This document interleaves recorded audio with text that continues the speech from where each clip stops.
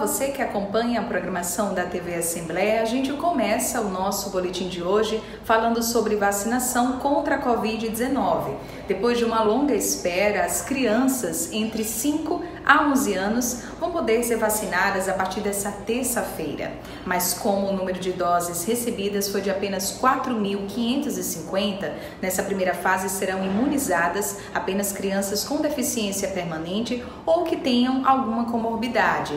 A abertura da campanha está prevista para acontecer às 10 horas da manhã na sala de vacinação que fica no Shopping Midway Mall. Lembrando que para receber o imunizante é necessário que a criança esteja acompanhada dos pais ou responsáveis que devem levar o documento de identidade ou certidão de nascimento, comprovante de residência em Natal e algum documento que comprove a deficiência permanente ou comorbidade.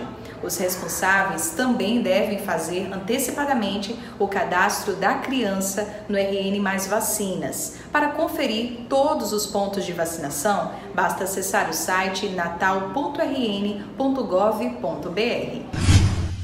O governo do estado publicou em Diário Oficial no último dia 15 uma portaria que obriga a apresentação do passaporte vacinal a todos os que precisem acessar órgãos da administração pública direta ou indireta aqui do Rio Grande do Norte. De acordo com o governo do estado, a ação faz parte de um conjunto de medidas que visam novamente impedir ou reduzir a contaminação do novo coronavírus. Só estão isentos de apresentar o passaporte vacinal as pessoas que não fazem parte dos grupos que devem tomar a vacina ou quem apresentar atestado médico para isso.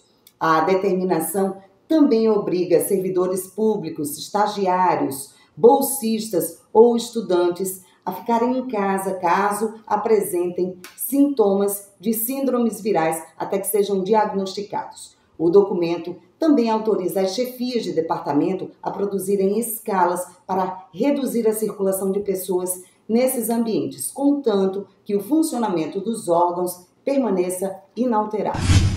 Segundo números do governo do estado, o Rio Grande do Norte está menos violento.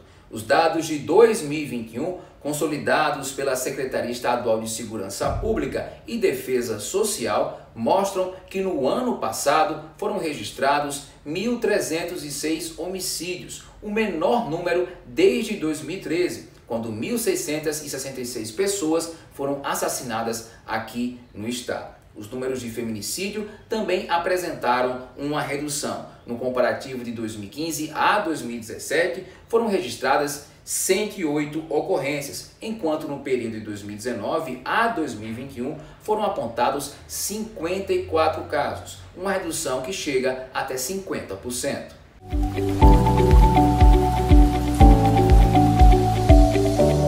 A terça-feira será de céu parcialmente nublado em todo o estado, com previsão de chuva rápida em pontos isolados. Natal, onde pode chover a qualquer hora, terá máxima de 31 graus com mínima de 24. Em Japi, tempo seco com máxima de 34 e mínima de 24 graus. Em Currais Novos, a máxima chega aos 33 graus com mínima de 23. E em Apodi, a temperatura varia entre 34 e 22 graus. Em apenas duas semanas, o Rio Grande do Norte superou a média de chuvas esperada para todo o mês de janeiro, com direito a rios correndo, cachoeiras Dia 3 de janeiro de 2022. Alagamentos e até granizo. Era chuva de granizo aqui na Serra de Santana. Ai Maria, haja pedra de gelo. Na região oeste, o acumulado chegou aos 78 milímetros, bem acima dos 60 que costumam cair no primeiro mês do ano. Em apenas 36 municípios potiguares, não choveu ou choveu bem abaixo do esperado. Destaquei para o município de Itaú, com chuvas acima de 221 milímetros. O município vem a, vem a ver 245 milímetros. Mas, no geral, quando a gente faz uma análise do que tem acontecido nesses, nesses dias, nesses primeiros dias de 2022, nós observamos aí chuvas bem distribuídas atendendo todas as regiões. Queremos colocar aqui a questão do, dos municípios do Agreste, onde desde, desde o ano de 2011 não tínhamos tido um, um mês de janeiro aí com boas chuvas como tem acontecido agora. O que está favorecendo essas chuvas são as condições do, dos oceanos. O Oceano Pacífico está com uma laninha atuando desde meados de 2021 e 2021 e deverá continuar nos próximos meses.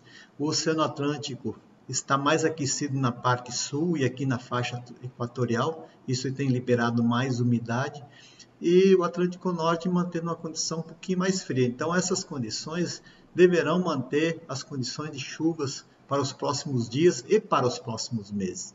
Na próxima quinta-feira, meteorologistas de todo o Nordeste se reúnem em Fortaleza para avaliar as condições do tempo e atualizar a previsão do inverno para o semiárido neste ano.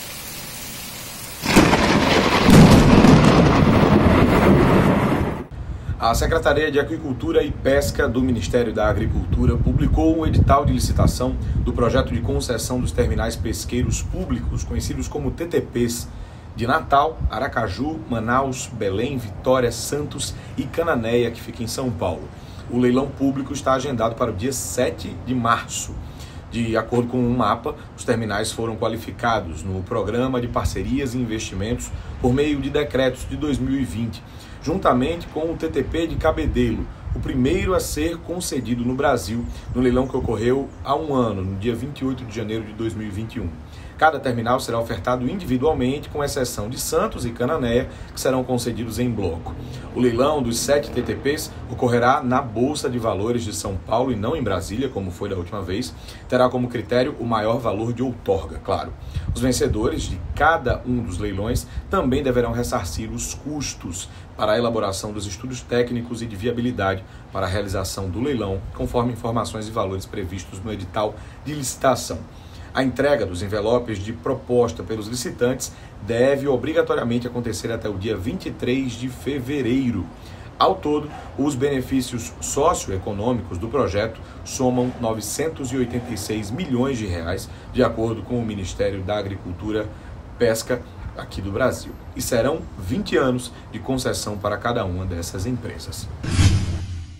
IFRN fez bonito no concurso nacional promovido pelo Ministério da Educação, um projeto que tem como foco o nosso tradicional queijo de manteiga produzido na região Seridó, que foi selecionado em primeiro lugar no edital para projetos de promoção às indicações geográficas. Símbolo da culinária local, o queijo de manteiga é um produto único e típico do Nordeste brasileiro e não existe em outro lugar do mundo. O projeto vencedor destaca a importância de desenvolver e fortalecer a produção artesanal desse produto. A ação de gestão desenvolvida pelos alunos do IFRN vai apoiar a organização de produtores, qualificá-los e organizar a articulação entre instituições parceiras. O projeto tem início no próximo mês, em fevereiro desse ano, e serão 12 meses de execução. Entre os benefícios está a valorização e a produção original do produto, sem o uso de ingredientes artificiais que possam descaracterizar o sabor do queijo de manteiga, tipicamente sertanejo ao longo dos anos. Muito legal, né não? O Grupo Carminha exibe nesta quarta-feira, dia 19, às 8 da noite, a premiada peça A Invenção do Nordeste. A obra será exibida no YouTube e, na sequência, tem bate-papo com os realizadores. O espetáculo, dirigido por Quitéria Kelly e estrelado por Henrique Fontes, Robson Medeiros e Matheus Cardoso, é baseado na obra A Invenção do Nordeste e Outras Artes, do autor Durval Muniz de Albuquerque Júnior. Em 2019, a peça foi a obra brasileira de teatro mais premiada do ano, tendo sido consagrada, por exemplo, com o Prêmio Shell. O espetáculo faz uma reflexão sobre a identidade cultural nordestina e é um resgate bem humorado sobre a história da região. A exibição será gratuita, então anota aí na agenda para não perder. Quarta, dia 19, 8 da noite, no YouTube do grupo Carminho de Teatro. A gente fica por aqui, até mais, tchau!